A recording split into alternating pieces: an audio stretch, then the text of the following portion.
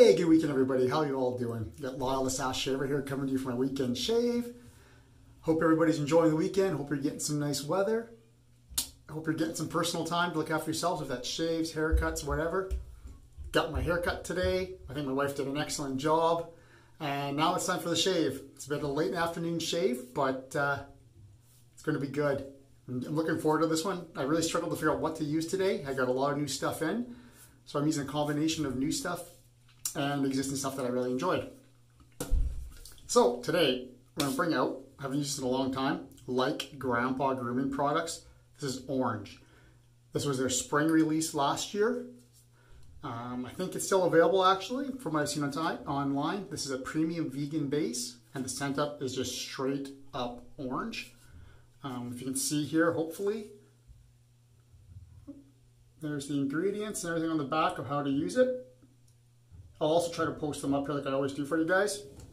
It's made by Ken in Edmonton, Alberta, a very nice gentleman. He's a great guy to talk to. I already have that put mashed into my Thirsty Lather, Thirsty, lather, Thirsty Badger lather bowl. Sorry guys. Weapon of choice today. I was going to do a straight razor, but I just fell about half an hour ago. My arm's a little sore, so so is my wrist. So I wanted something that I didn't have to think about as much. Going to do the Karve Christopher Bradley three and a half inch handle C solid bar plate. It's the first plate I ever owned. In that I have a Gillette Winner Blade. This is on the third shave. Um, I don't know if I've taken winners this far, so we'll see you know, how it performs. If I don't like it, I'll switch it out. And for the brush today, oops, I'm gonna go synthetic. I recently got in, hope you guys can see that, my PAA StarCraft. It's a 24 millimeter synthetic knot. Beautiful synthetic brush. I love the um, design of the handle and everything. It's uh, designed after the, I guess it's kind of a rare, you don't see them too much. Um, Mohawk, a Canadian shave brush brand. It's the 54321, I do believe it's called. I really want to find one of those. I only know one wet shaver that has it and I doubt he'll ever let it go. But I'm going to try someday to get it. and I'm going to finish this all off today with Maol grooming tangerine. Orange shave all around. so let's get this going here for you guys. Some water back into that brush uh, mug there. And like I said, I hope you're all doing well.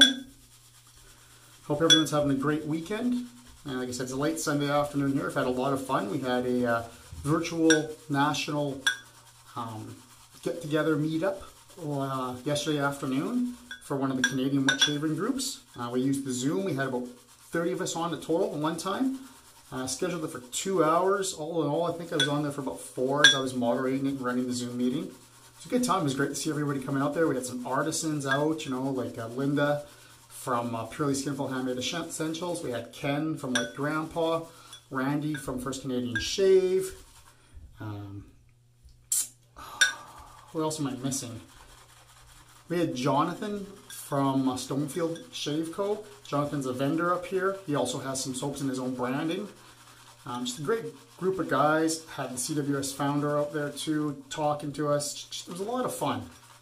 I may have indulged in a little too much wine during that meeting though. you see this comes pretty quick. I'm gonna have way too much soap in this. This is a probably a four, maybe four and a half out of five for a citrus scent.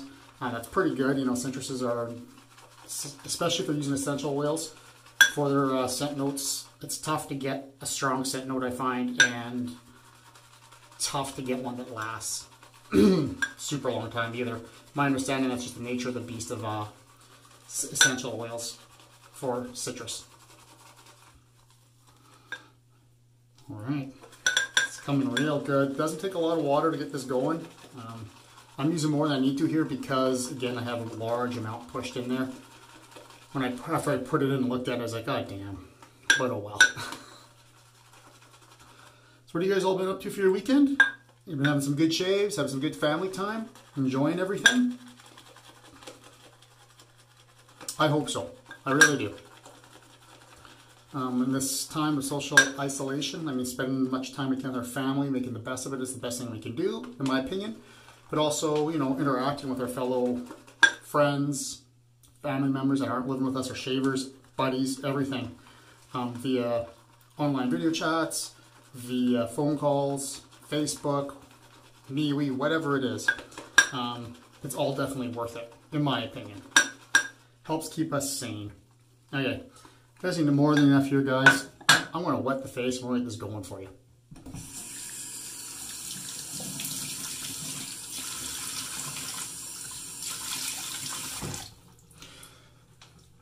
So it should be interesting. It's been a few hours since I showered, quite a few hours.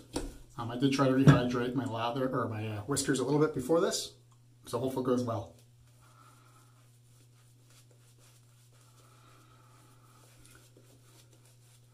So the StarCraft brush, I guess it just feels excellent in the hands. Has a good amount of backbone, but it's soft. Very good amount of backbone. not too much, but not too little. It's almost perfect in my opinion.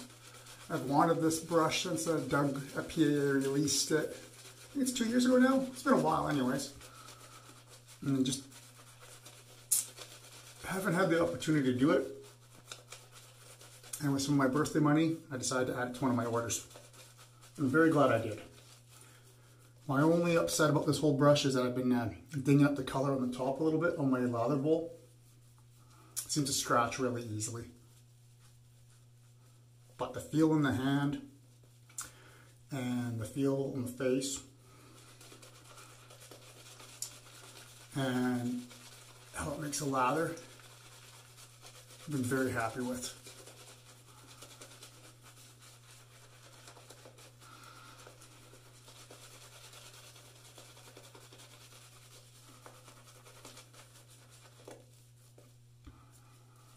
In fact, I've used it for, I think this is my fourth shave with it now.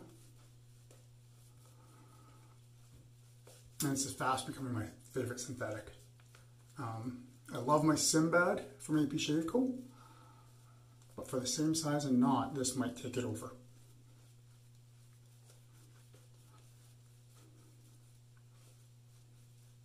Whoa! Big cannonball there. Sure, I let that one go it's got a hair in it. So I just got my hair cut here not too long ago before this video. So I was very, very, my wife is super, super, super nervous about cutting my hair. I'm pretty anal about my haircuts, but I was very proud of her. She tried until whatever happened, happened. And I think she did awesome.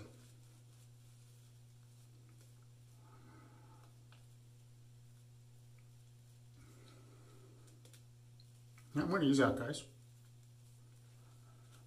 I don't want to overhydrate this. It's a good vegan soap. It's got good all-around performance to my memory. It's been too long since I used it.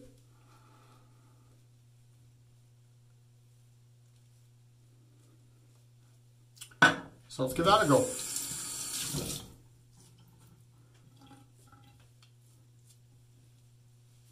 See if I can keep it out of my ears.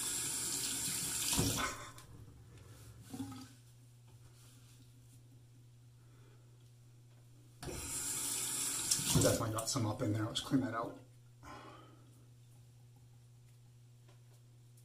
All right.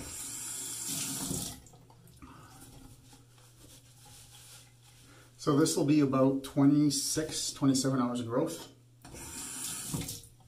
Closer to 26, I think. And this will be with the grain, guys.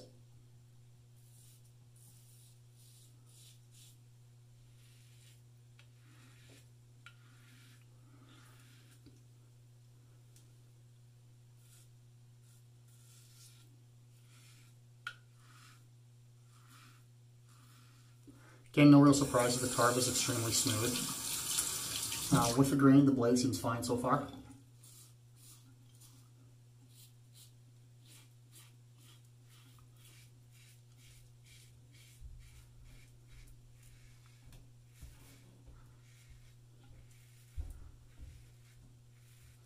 You will get blood there. Cut myself just in a lie with a straight razor.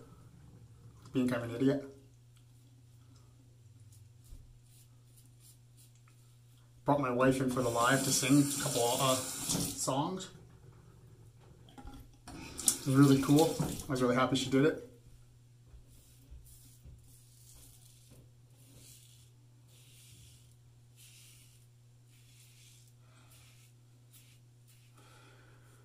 Might have to not shave for a couple days to let that one heal.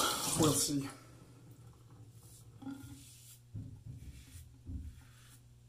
It's definitely not my style.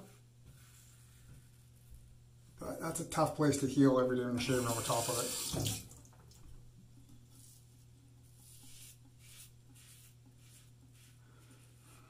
The scent on this, like Grandpa said, is pure orange. Um, it is a mild scent.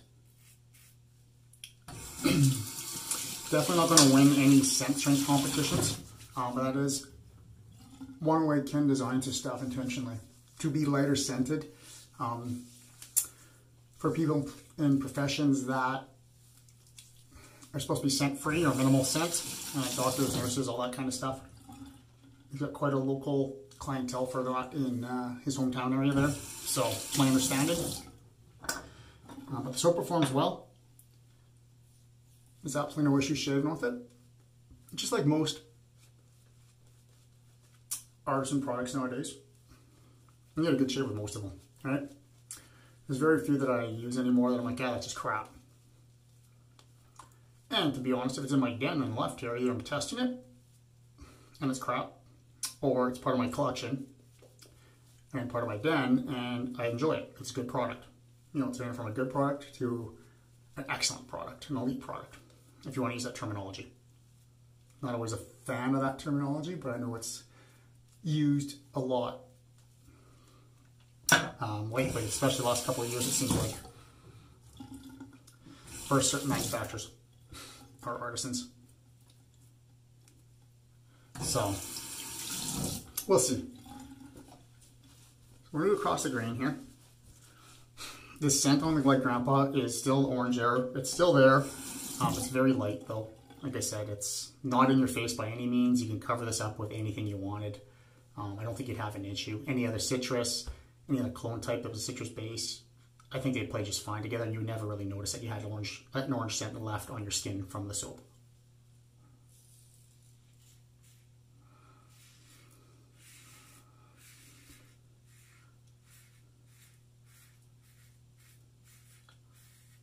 Performance wise is good, very good.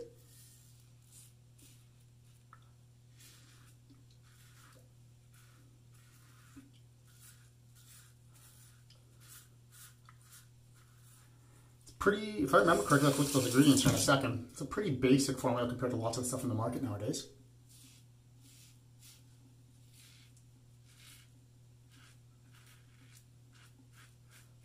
It does a very good job.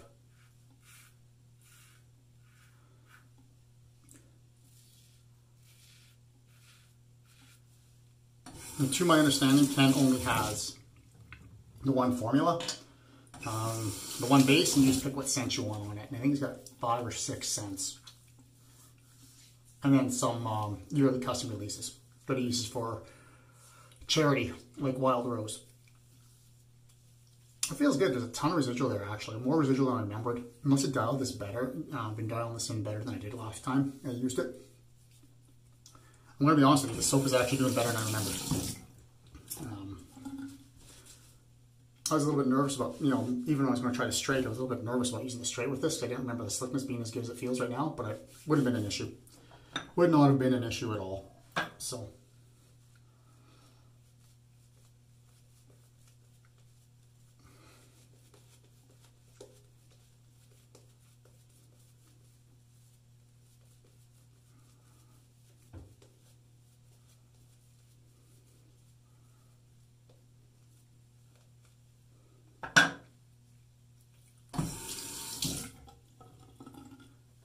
So that meetup was pretty cool.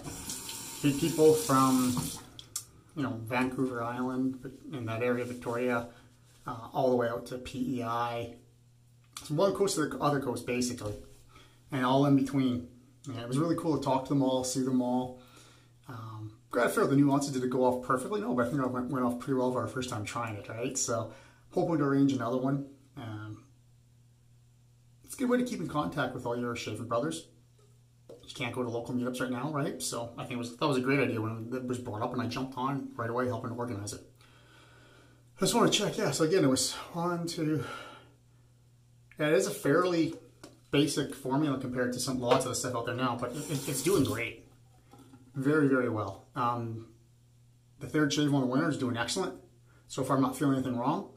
Um, the Karve is, being very smooth in the Karve. The Karve or the Karve is making it very smooth. I'm not too sure. Um, the C plate solid bar is the one I do have the most experience with. You know, I got this years ago, probably three, three years ago, four years ago. It was the first Christmas that Karve opened, anyways. My wife got it for me for Christmas, so I'm very used to that plate against the grain.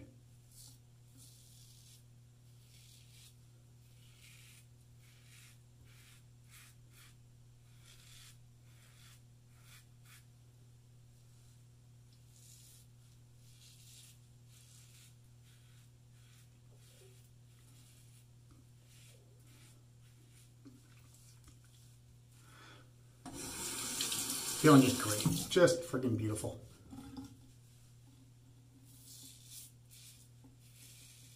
So, don't know if you guys have seen, I think uh, Chris at I Am uh, CBD started it. Uh, the guys are doing um, blindfold shaves. There's a few that I have to catch up on.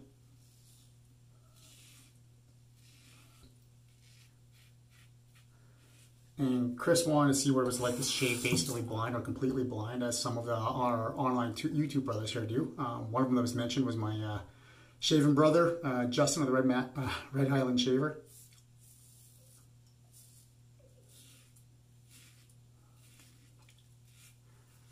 Guy is legally blind and uh, shaves like a whiz.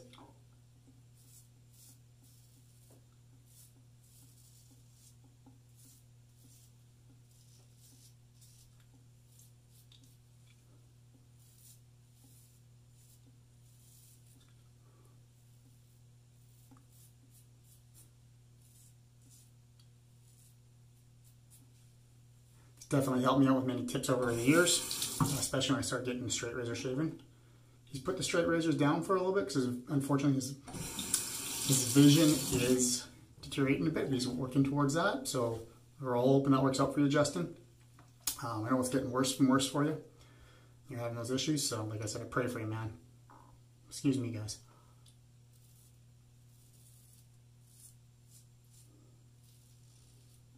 But it's pretty cool. As what I was getting to is that Chris started that to kind of see what it was like for. There's three of them that do that are basically legally blind YouTubers.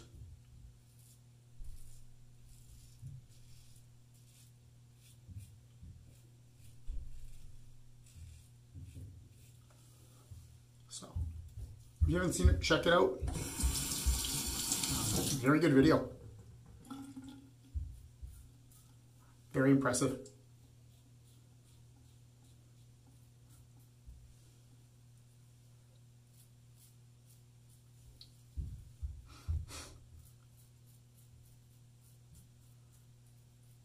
So yeah, that residual's fine.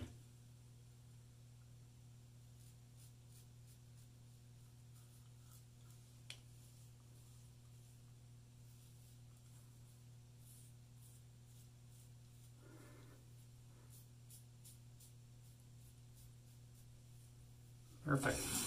Okay. Repass is done. Most of the touch-up's done. Let's just see how it feels, guys.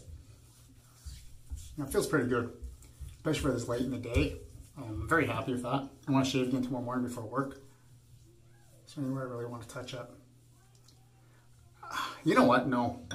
By the time that all dehydrates, it's going to be perfect. So I'm just going to rinse off here. Some warm water, cool water. Give me one second.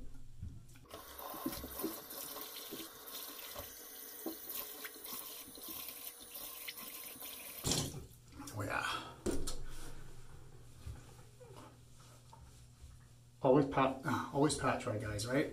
Don't scrub, don't rub. Your skin's just had a blade go over it, drag in on it. You don't want to cause irritation from the towel. So, get some water right there. I think it's on the inside. It'll have to stay. so it's feeling good. So once that dehydrates, that's going to be awesome. So the post on my grandpa is really good. Uh, but of course, we're keeping the orange going today. And we're going to use the newly released male grooming or mal grooming tangerine uh, by Mr. Sean Mullen, the wizard behind this stuff. Again, skin feel, face feel, this is my top, um, my top splash. This manufacturer or artisan. I just love it.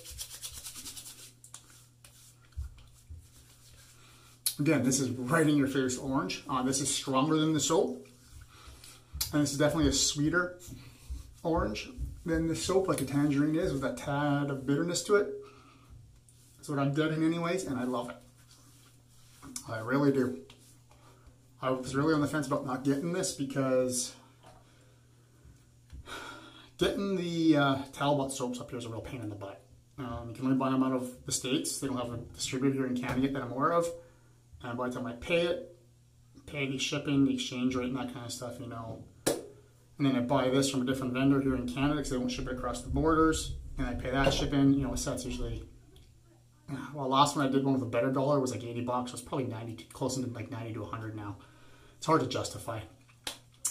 But great products anyways. Like Talbot is a good soap too, guys. So that was awesome. I really enjoyed that shave.